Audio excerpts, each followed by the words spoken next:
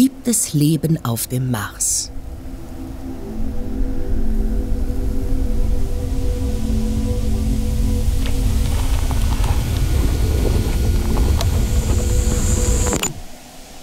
Hier sollte eigentlich eine Ausstellung stehen, die sich dieser Frage annimmt. Doch sie wurde auf unbestimmte Zeit verschoben. Warum? Dazu später.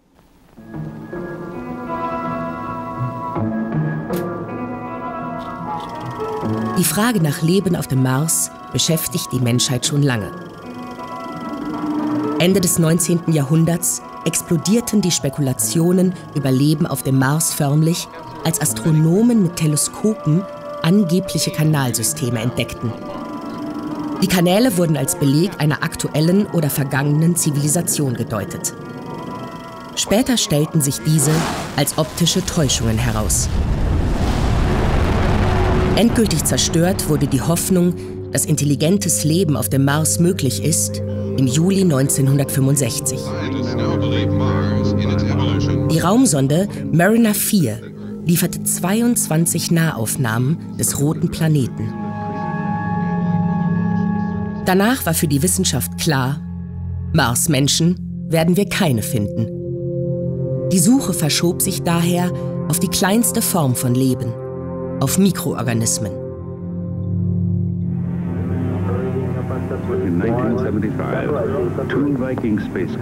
Neue Hoffnung keimte mit den Viking-Missionen in den 1970er Jahren auf. Es gelang, zwei Sonden auf dem Mars landen zu lassen.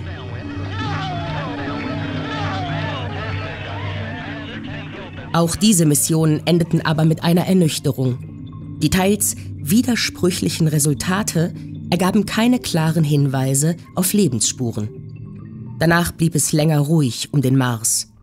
Der Elan war verpufft. Today, Rock 84001 speaks to us across all those billions of years and millions of miles. It speaks of the possibility of life. Neue Diskussionen lösten Forschende der NASA aus, die Mitte der 1990er Jahre angebliche Spuren von Mikroorganismen in einem Meteoriten vom Mars gefunden hatten. Es handelt sich dabei aber nur um Indizien. Beweise fehlen.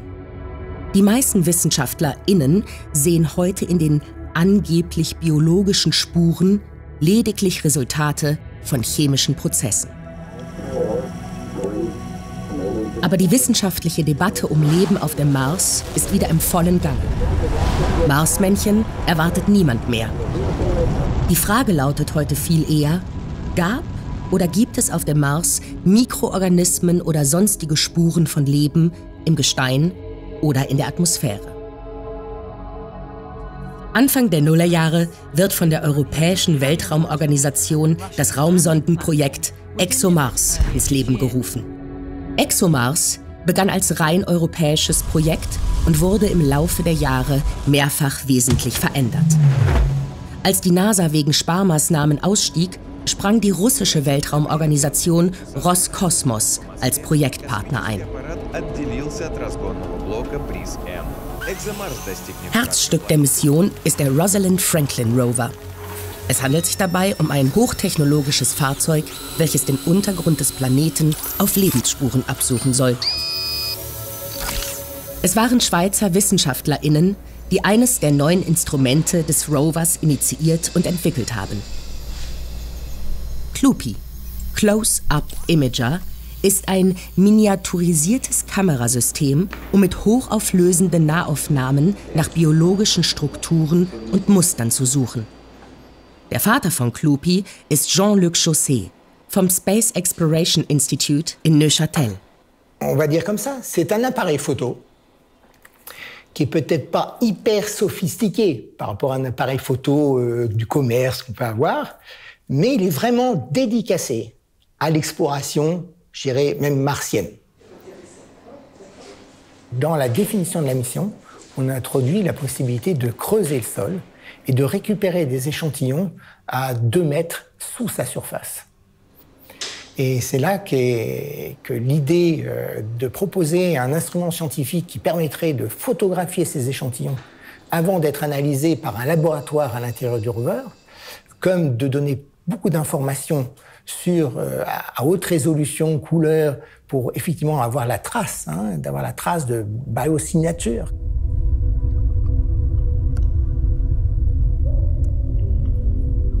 Als Experte für Biosignaturen, für Spuren des Lebens in Gesteinen, ist Beda Hoffmann ebenfalls Teil der internationalen ExoMars-Mission.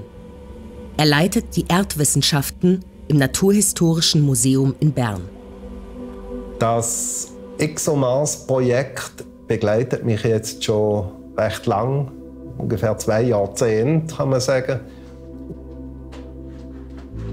Eigentlich bin ich dazu gekommen über unsere geologischen Sammlungen. Denn in diesen Sammlungen hat es Objekte, die sich als sehr interessant herausgestellt haben, als mögliche Spuren, wie dass man auf dem Mars auch könnte nach Leben suchen Und zwar handelt es sich da um sogenannte Sumifos, wenn ich die äh, Strukturen nenne. Das sind eigentlich fossilisierte Mikroorganismen, die ursprünglich tief im Erdinneren, also bis hunderte Meter oder vielleicht sogar Kilometer tief, äh, unter der Erdoberfläche gelebt haben. Das sind Strukturen, vor allem, die entstanden sind aus der Versteinerung von fadenförmigen Bakterien oder anderen Mikroorganismen. Die sind dann umkrustet worden von Mineralien und sind so erhalten geblieben. Und ich vermute, dass gleichartige Strukturen eigentlich auch auf dem Mars könnten vorhanden sein. Also, wenn man weiß, wie das die Strukturen auf der Erde aussehen, kann man sich das als Vorbild nehmen oder als Idee, nach was dass man auf dem Mars auch könnte suchen. Je crois euh, personnellement que la vie a pu se développer sur Mars. Je ne traduis pas en dit oui, on va trouver la vie euh, sur Mars avec ExoMars, parce que comme je disais auparavant, on y va de manière très ponctuelle. On va creuser une fois, six fois si tout va bien. Donc c'est un peu si vous arrivez sur Terre, déjà sur Terre, vous avez deux tiers de chances d'arriver dans l'eau et pas sur Terre. Donc on peut imaginer qu'avec un seul point, il sera difficile. Hein. Mais ce n'est pas contradictoire. C'est pas contradictoire. Pour moi, il y a une possibilité. Et puis, ça vaut vraiment le coup de tenter cette possibilité. Parce que si on ne fait rien, on est sûr de ne pas avoir de réponse. Interessant ist noch der Aspekt, dass es nicht unmöglich ist, dass Mikroorganismen als blinde Passagiere auf Meteoriten vom Mars zur Erde geflogen sind.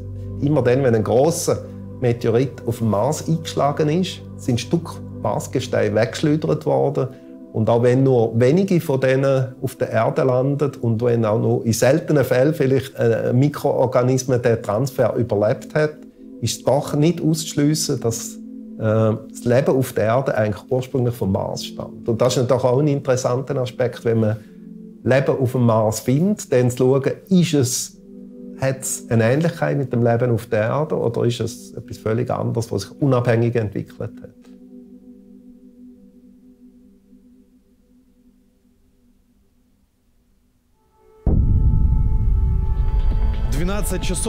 Nun ist die Suche nach Leben auf dem Mars aber jäh gestoppt worden. Gestoppt vom Weltgeschehen. Bekanntlich hat die westliche Welt aufgrund des Angriffs gegen die Ukraine Sanktionen gegen Russland erhoben.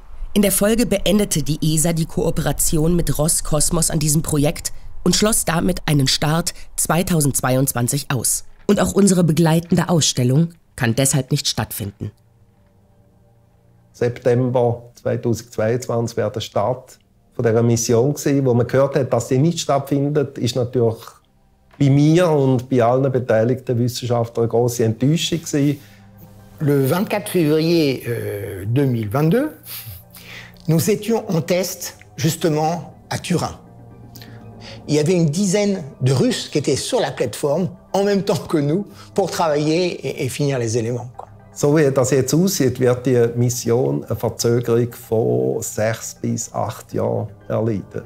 Das bedeutet, dass der Start nach meiner Pensionierung wird stattfinden. Ich werde trotzdem hoffentlich meine Expertise und mein Know-how einbringen Ja, aber es ist natürlich schon eine ganz andere Situation, als wenn man aktiv äh, direkt vor Ort, also im Kontrollzentrum, könnte da äh, einen Einfluss auf die Mission haben.